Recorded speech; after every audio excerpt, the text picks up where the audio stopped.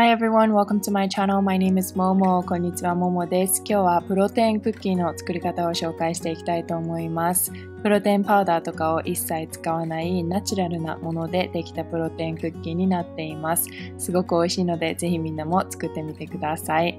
I'm going to be doing a recipe video today. I'm going to be showing you how to make these protein cookies. As usual, I won't be using protein powder, so I hope you try it out and let's get started.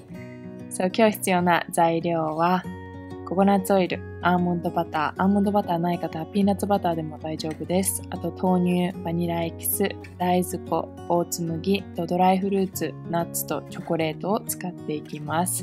So yeah, let's get started. まず最初にボウルの中にココナッツオイル 15g 入れていきます。We're gonna start by adding 15g of coconut oil. そしたらここにアーモンドバターを入れていきます。私が使っているアーモンドバターはいつもマイプロテインからです。興味ある方は明日の概要欄にえーと、貼っておくので、ここのサイトチェックしてみてください。一番お得にアーモンドバターが買えます。25g アーモンドバターを加えてミックスしていってください。So add 25g of almond butter to your coconut oil and just mix it up. I'm using almond butter from a company called MyProtein. If you're interested, I'll leave the link down below in the description box. そしたらここにメープルシロップ大さじ5加えていきます。Then we're gonna add 5 tablespoons of maple syrup. ここはアガベシロップでも大丈夫です。You can also add agave syrup if you don't like maple syrup, and then just mix everything together. That this actually depends on how sweet you want your cookies to be. If you want your cookies to be a little bit less sweet, you can add less maple syrup, um, or you can add more if you want to make it even more sweeter. そしたらここにバニラエキス小さじ1加えていきます。Add 1 teaspoon of vanilla extract. そしたら豆乳大さじ1.5 and then 1.5 tablespoon of soy milk. So feel free to use whatever milk you like. 好きなミルクを使っていってください。ココナッツミルクでもアーモンドミルクでも大丈夫です。ここに大豆粉 60g 入れていきます。Then we're gonna add 60g of soy flour. そしたらオーツ麦 60g and 60g of oats. I'm using rolled oats today. 今日私はロールドオーツを使っています。そしたら全部ミックスしていってください。Then mix everything up. 大豆粉は今回初めて、えーと、レシピ動画で使っていくんですけど小麦粉と比べて糖質が80%オフになっているので糖質制限とかしてる方にもすごくおすすめですあと今回は小麦粉を使わないので、えーとグルテンフリーをやってる方も食べれるレシピになっていますタンパク質もすごい豊富だし、あと小麦粉の4倍の食物繊維も入ってるので、えっ、ー、と、便秘がちな方、便秘になりがちな方とか、あとは食物繊維をなるべく多く食べて、食べようとしている方にもおすすめの、えーと、材料になっています。大豆をそのまま粉にしたものだそうです。最近結構大豆粉でいろいろ作ってみてるんですけど、あんまり癖がなくって食べやすいので結構いろんなえーと、お菓子作りに使えそうです。これからもみんなが興味あったら大豆粉を使ったレシピとかをいろいろ出していきたいと思います。はい、少しだけ味見してみて、えーと、甘さがちょうど良かったらそのままにして、もうちょっと甘くしたかったら少しだけメープルシロップとかを足したりしてみてください。あと粉っぽさが残ってたら少しだけ豆乳を加えて大丈夫です。あとは自分の好きな風にアレンジしていってください。私は今日はゴジーベリーとかレーズンとかひまわりの種、かぼちゃの種か、かぼちゃの種とかココナッツフレークとかを入れてってるんですけど、ここは自分に自由に自分の好きなものを入れてってください。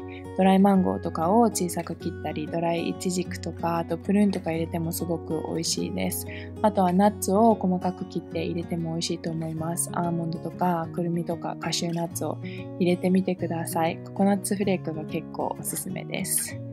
はい。あとはミックスしていきます。So add whatever you like. You can add any type of seeds or any type of nuts, um, dried fruit as well. でチョコチップを最後私はチョコチップが好きなので入れてってます。I also added chocolate chips in the end just because I like chocolate. I highly recommend you to do this if you like chocolate. Otherwise you can just skip this part. チョコレートが好きな方はぜひこれやってみてください。大きいまま入れてもすごく美味しいです。You can also add just like big chocolates inside and have chocolate chunks in your Cookies. はい、あとはクッキーの形を作っていくだけです。大きめのクッキーを作りたかったら大きめのを作って、私みたいに結構小さいのを何個も作りたかったらそっちをやってもいいと思います。自分の好きな形と大きさにしてってください。So form it into cookie shapes and you can make um, cookies that are very small, or you can just make big ones, whatever you like. And again, just feel free to mix it up a little bit. You can also add cacao powder and make it into like a chocolate cookie as well. You can also just not add any of the nuts or dried fruit and make it a very simple cookie. So ナッツとかシードとかを入れたくない方はそのまま何も入れないでチョコチップだけにしてチョコチップクッキーにしてもいいしチョコチップすら入れたくなかったらそのままの大豆粉のクッキーにしてもいいと思います。なんかいろいろ自分で アレンジできるので自分で好きな風に自分の好きなクッキーを作ってみてください。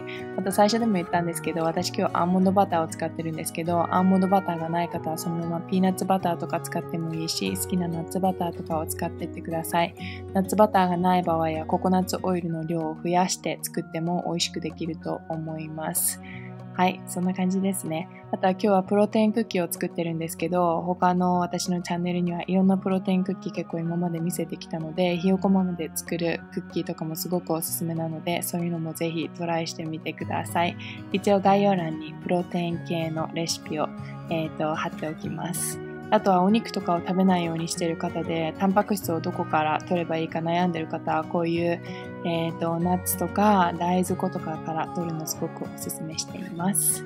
はい、その感じで全部クッキーの形が出来上がったら、私は今回1、2、3、4、5、7、8、9、10、11個作りました。So I was able to make 11 cookies and then you just have to put this in the oven. そしたらこれをオーブンに入れていきます。